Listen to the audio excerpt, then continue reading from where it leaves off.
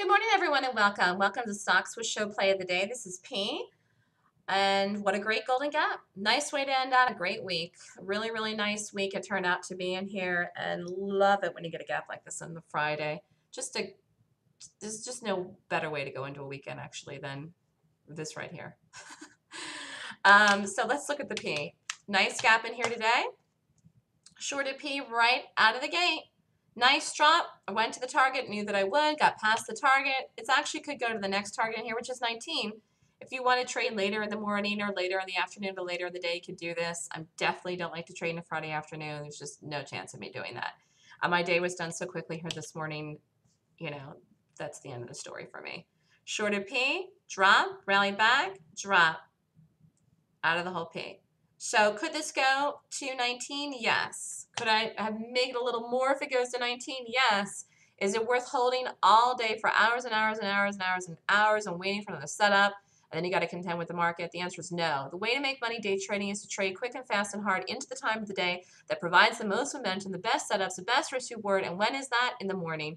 It's aggressive in the morning, and the only way you can do that is if you understand gaps. If you understand actually how to take the gap. I was discussing this today in the trading room using a great example of this and here in the P. Because if you do not know what's happening on the daily chart in P, you might try to buy P in here into this previous area of support. You might try to buy the P in the one minute chart.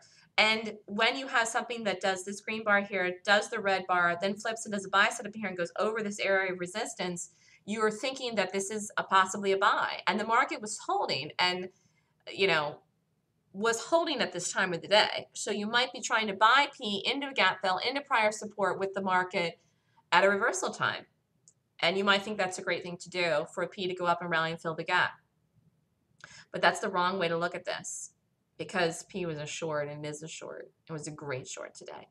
So I find a lot of day traders actually trade with like in a vacuum, like actually where they have a wall on either side of their eyes and they can only see straight in one direction.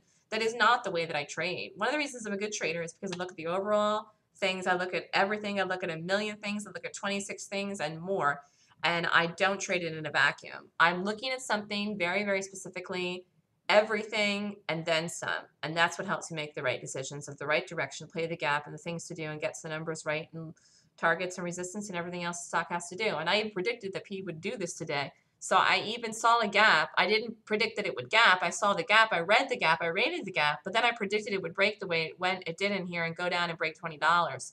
And that was a great call. That was a great call. So nice gap in P. Beautiful, beautiful short move. Nice trade and great risk reward. Stopping this was as small as you're going to get in something like P. Basically sized it for 20 cents. And uh, amazing move with that kind of stop. And held the conviction, did everything right with this today. But P could very well set up again today. I won't be reshorting it, but you could. So nice trading here at P. If you're interested in the Golden Gap class, it's this weekend, October 25th and 26th. If you want to make money trading and learn how to day trade, you can take my class, and I teach in the Golden Gap course how to take the entries, how to take the setups, how to look at things right, and how to trade correctly as a day trader. Too many day traders are trading in vacuums or missing the whole shebang.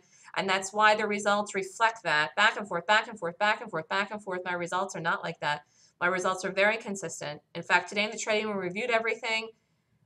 And, you know, it's just one of these things where you have to have a strategic reason for why you're doing something. You get up every day and you look for it. You have to know what you're looking for. You have to know where you're supposed to be taking these stocks. And you have to know what things to stay away from, too, and what ones to just go hog wild. And I absolutely have the ability to be able to discern that from the rating system and, uh, and seeing how these things trade and act.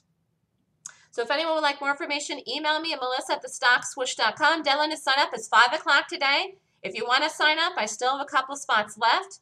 Email me. Classes this weekend. Great time to learn how to trade gaps and trade in earnings season. Have a great day, everybody, and have a great weekend.